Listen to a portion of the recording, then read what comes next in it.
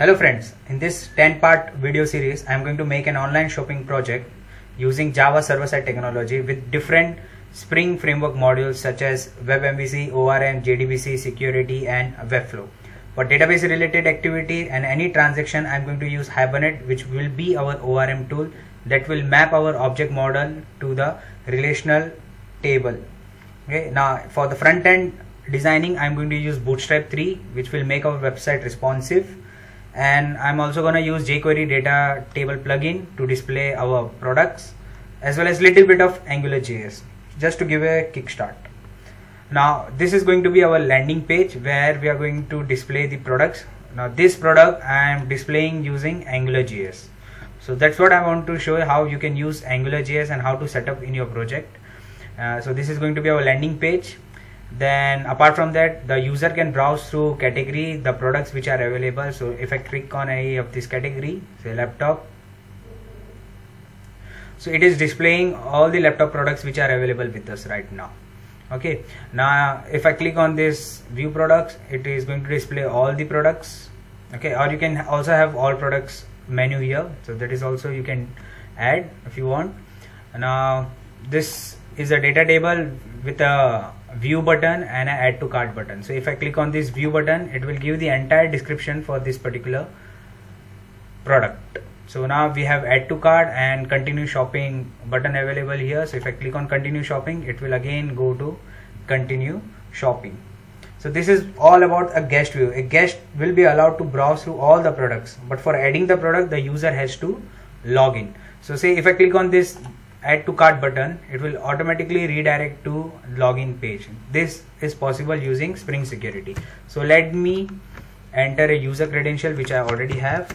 So now i'm logging in with the user detail and you can see we are getting this message that the product has been successfully added inside the cart.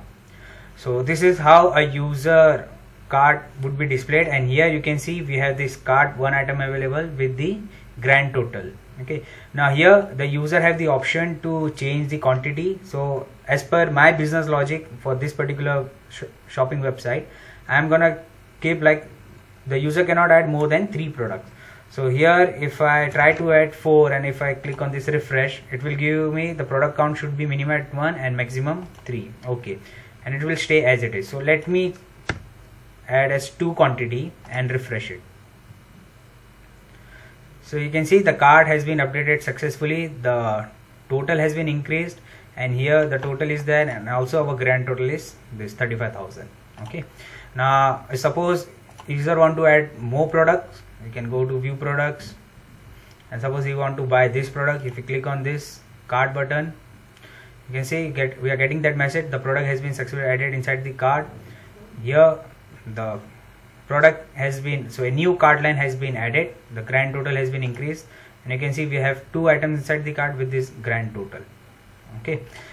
Now this is what a user can do. So user can check out also. But before check out i want to show you one more thing. Suppose i am now login as a admin. So this was the user part. And i'm going to the admin part. Let me open up uh, another browser and open up an admin window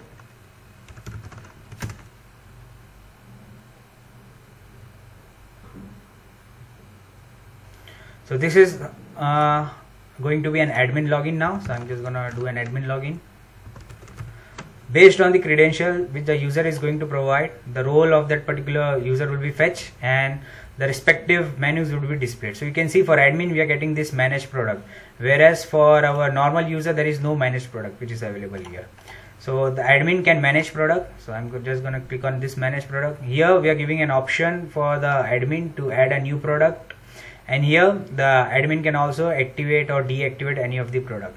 So from our user perspective as you can see the product is already added inside the cart. So if this user logs out okay and suppose logs in once again.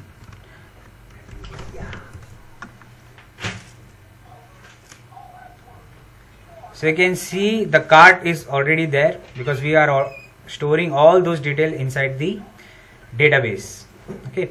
So now the thing that i wanted to show is like suppose this total this unit price the buying price was uh, 17500 now if the admin change the price of that particular product so say if i click here on edit you can see the form is getting filled and here if i change it to say 16000 and click on this save so it is saying that product submitted successfully and here you can see the price has been changed. Okay. And now if the user tries to check out since the price has been changed the user can add this product inside the cart for a year but he is not doing any checkout. So now if i do a checkout it will validate my cart. Okay. And after validating the cart the proper price will be reflected here with the total and the grand total as you can see here now the user can simply check out so there is going to be a checkout.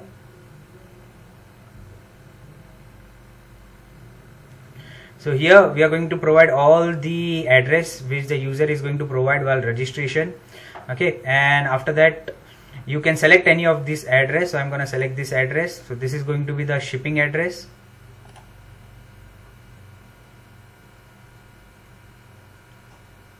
and here you can see what are the products that the user is trying to buy.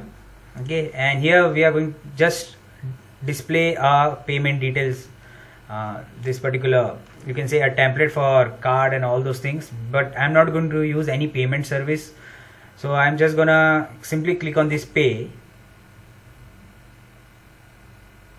And an invoice would be generated. As you can see it is giving me that your order is confirmed. And if you see it will be billed to at this for this particular user at this particular address and shipped to same user at this particular address. What is the order date?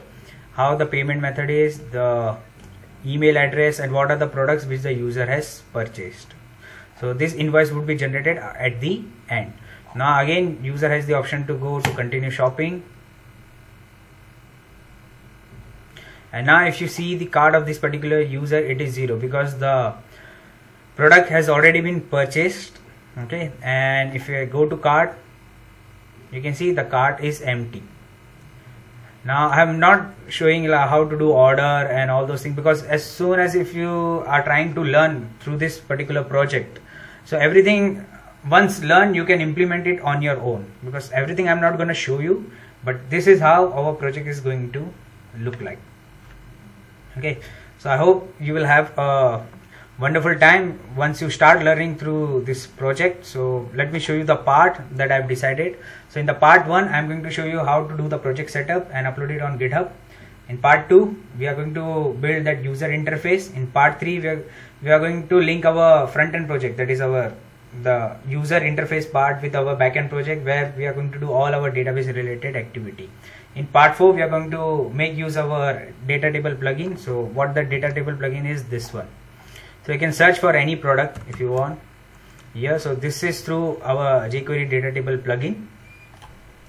In part 5 we are going to work with admin module. In part 6 we are going to do user registration uh, using spring webflow. Then part 7 authentication and authorization part 8 is going to be our cart module part 9 is going to be our checkout module and part 10 i'm just going to give an introduction about angularjs and design our landing page. So that's the overall summary of what we are going to achieve in this particular project. So stay tuned don't forget to subscribe and thanks for watching